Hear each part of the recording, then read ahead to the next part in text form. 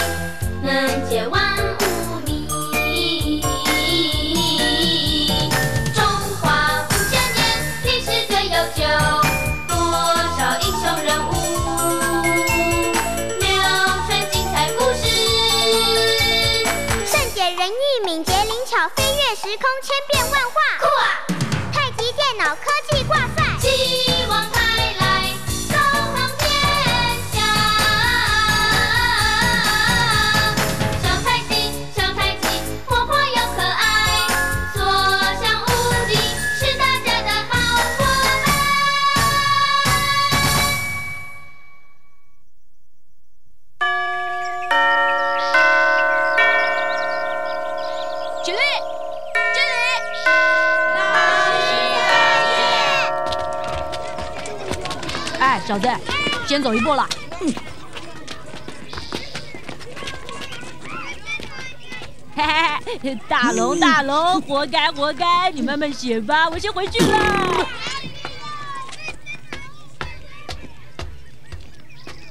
嗯嗯每一个字给我好好练习十遍。嗯。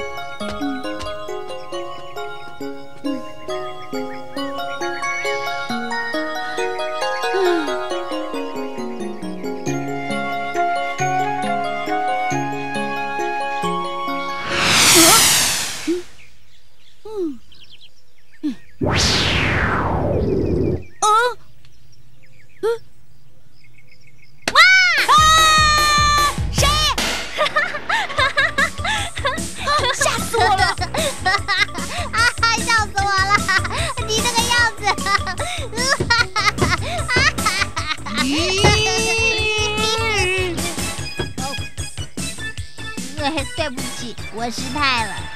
大龙，你不要生我的气哦。唉，怎么啦？又被处罚啊？哦？阿勇这么丑啊！难怪老师要罚你留在教室练字了。哼，字写的难看又有什么关系嘛？哎，你这句话要是被仓颉听见，他不气得吐血才怪。哎，谁是仓颉？哎呦，你连仓颉是谁都不知道。小太极，我们再给大龙上一堂历史课吧。啊，好，没问题。一，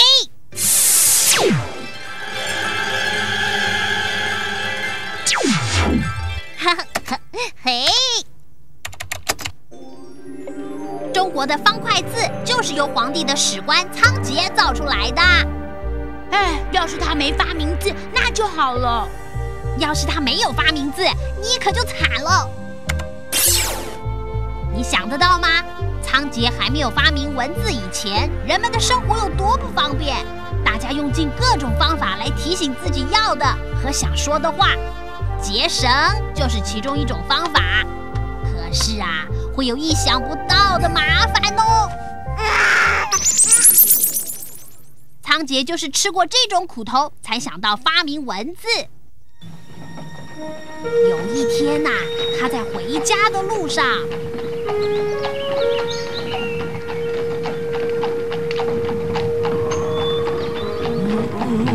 二木头，快到家了吧？藏大人还远着呢。呃，藏大人，你脸色看起来不太好哎。我我不舒服，车子晃得太厉害了。哦，哇！苍大人，你忍忍，我加快速度啊！呀啊！不要啊！呀！哦呀！呀！呀！呀！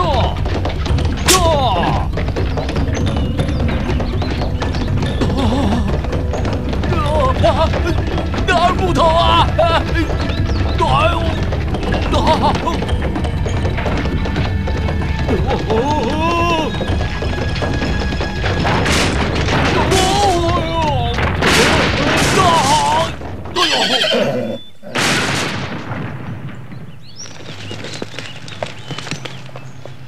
呃，大人，苍大人，你没事吧，大人？啊，苍大人，你没事吧？二木头，只要你停止拍打我的脸，也不要一直坐在我的肚子上，我就没事了。哦，对不起啊，我还以为你已经……已经怎么样？不要说不吉利的话。哎，对了，呃，快帮我把那些绳结捡起来，那都是皇帝交代的事。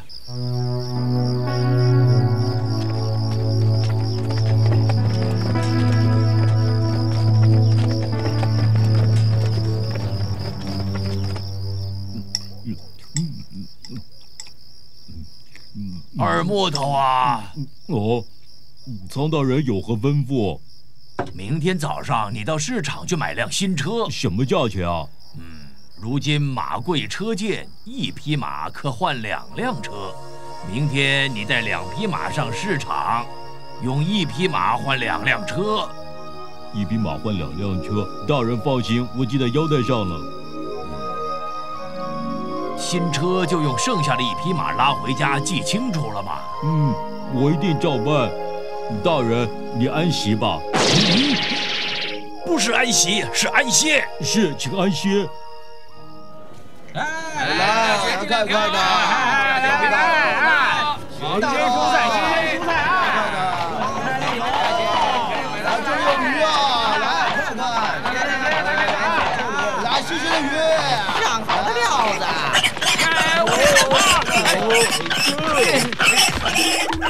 小胖，你你，哎呦！嗯，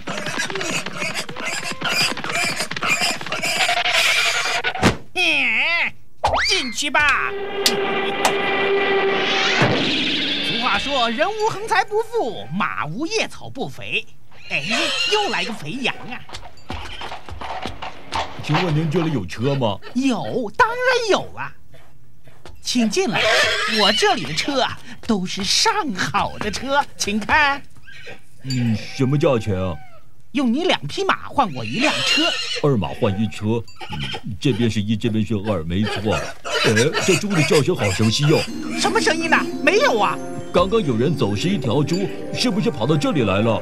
不是，你听错了，那是马的叫声，马叫跟猪叫都差不多。哦，是吗？二马换一车，没错啦。二马换一车，嗯，对对对对。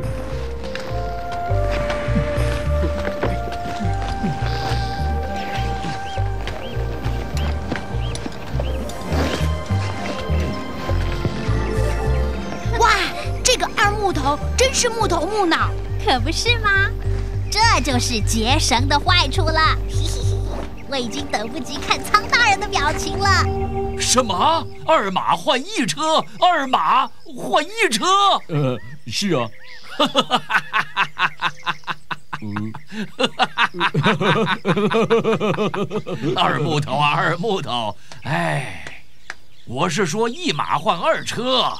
啊，可是可是你看，这两个节是马，一个节是车，所以是二马换一车呀。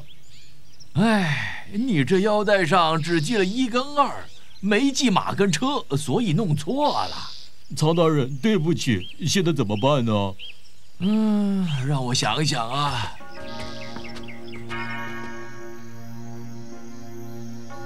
仓颉就要写字了吗？哪有这么快？我们中国最古的文字是从生活中逐渐孕育发展出来的。刚开始啊，就像图画一样。仓颉呢，平时就爱涂涂画画的。经过二木头的事情，他更是积极研究，怎么样把图画变成代表事物的符号。你你你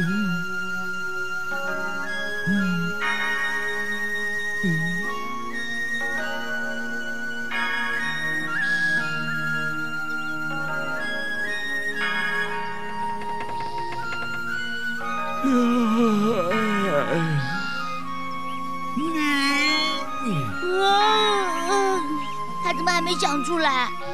哈哈，好困，他应该就快想出来了吧？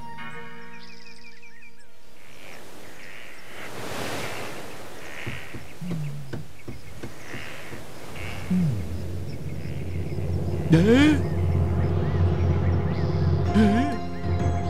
哎，嗯，哎，他想到了，他想到了。仓颉已经抓到诀窍了。嗯，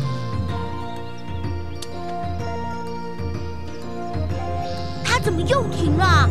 加油，就快想出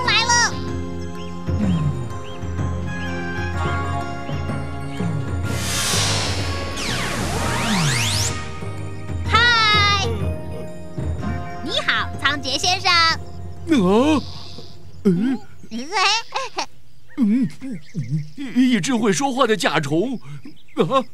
你是？我是精卫，你好啊。我是大龙，你好。精卫大龙，我不会是在做梦吧？一定是用脑过度产生幻觉，闭上眼睛再睁开看看。啊仓颉先生，你怎么啦？真有趣。啊！你们是从哪儿来的？我是从未来世界来的。未来？对呀我是从过去的世界来的。过去？未来？那你呢，小甲虫？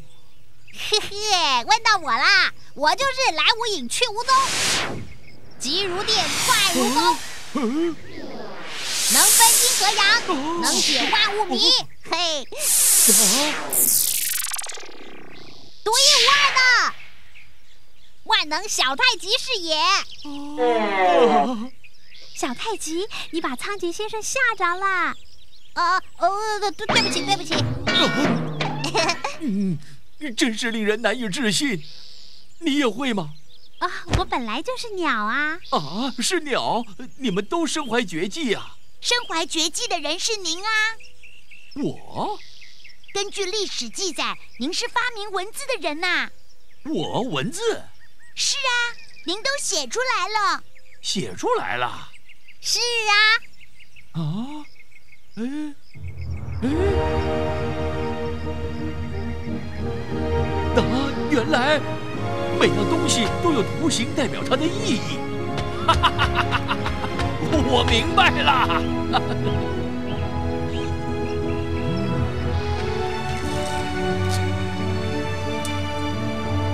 这就能代表日子了。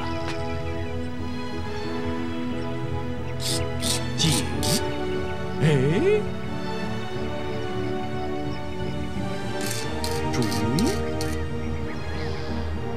嘿嘿，山，川，啊，田，哎，门。嘿嘿嘿嘿嘿哎呀哇，曹大人，你怎么起得那么早啊？嘿，有办法啦！呃，曹大人，你怎么了？哎，别动，啊，口，目，耳，二木头啊，这下有办法让那个阿刁不能骗我们了。来，我带你去看三个特别的朋友。哎这是，哎，不见了，难道真的是在做梦啊？我们这样不告而别，会不会不太好？不会啦，我们本来就不是同一个时空的人，保持一种神秘，不是也很好吗？我有一个问题，为什么仓颉的字，哎，咦，跟我在学校教的不太一样？问得好，小太极，你可以秀一下啦。哈，让太极电脑告诉你。这就是由景物转变成的象形字。早期的文字结构较不规律整齐，笔画复杂，不好书写。后来才转变成方整平直，也更加美观。原来如此，太有趣了！嘿，我们来玩有趣的文字游戏，让你亲自体验一下。这是人，这就是大，这就是力，海。一棵树就是木，树木多了就是林，一个石代表石头，三个石头就代表很多石头，垒字。哎，人在树下歇着就是休字，真是太妙了！妙，你看哦，少女是不是很妙呢？古时候的人觉得女人留在家里最安心，就发明了“安”字。屋中有猪，猪是古人财产的象征，屋中有猪即是财富，就成家了。真有意思。对啦，中国字最有意思了，像刚才那些字就叫会意字，把两个字合起来形成另一个意义的字。我知道，我知道，我知道了。你看，日出东升就是“东”字。嗯，孺子可教也。而另一种指示原理造出的字，更能令你马上看出意思哦，像是上和下。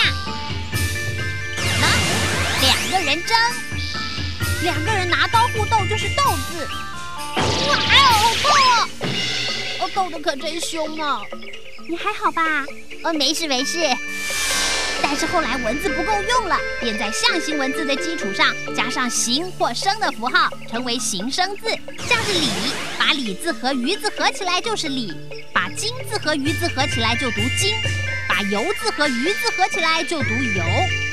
用歌加上水就是深浅的浅，歌加上金就是钱。哇，另外还有转注字，是把形声意义相近的字互相转用，像是一和乙。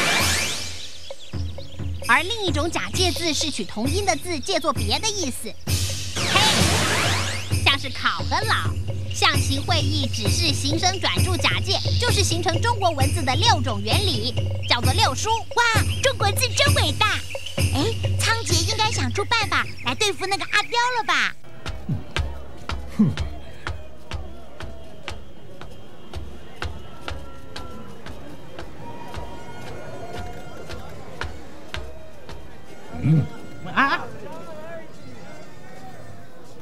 年轻人，你又来了！哎哎哎！我昨天上了你的当，你看，这是我家主人写的字，嗯，字什么字？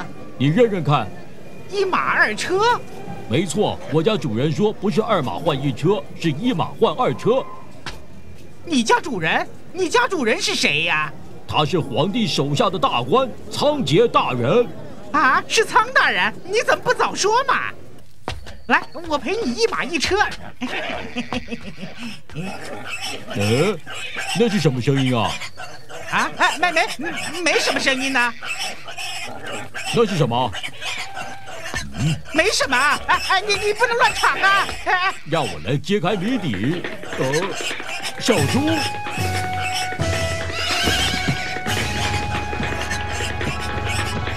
快阻止他，马会受到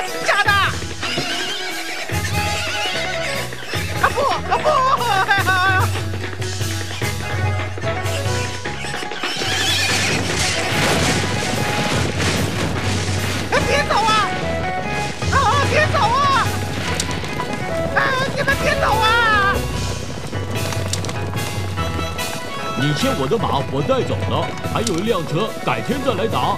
这。哎哎，你别走啊！啊哎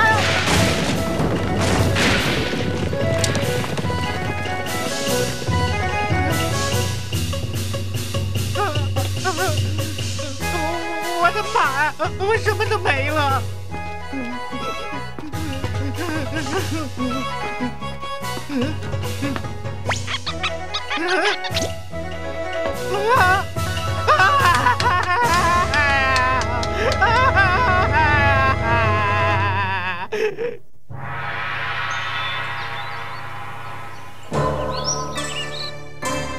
召见小臣，不知何事，听说你会造字，请写几个字给我看看。请容臣上前说明。这是，请大王过目。这是什么字？大王您猜猜看，嗯，这是日吗？这个呢？月，太阳刚刚升起呢。那就是旦了。这个呢？这是手。对了，这个呢？木。把手放在眼睛上，就变成看喽。哦，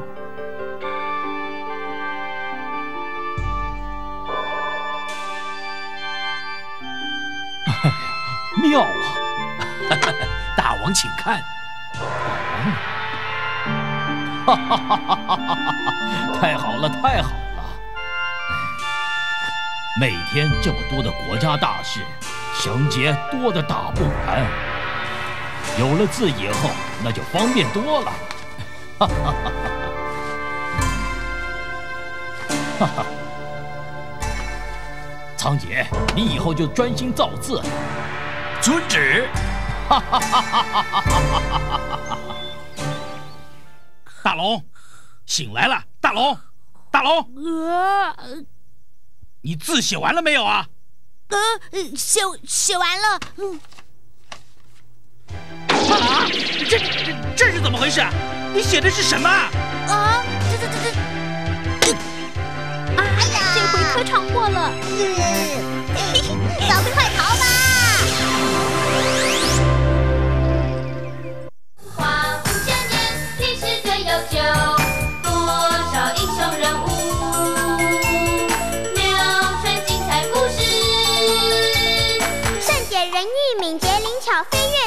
champion.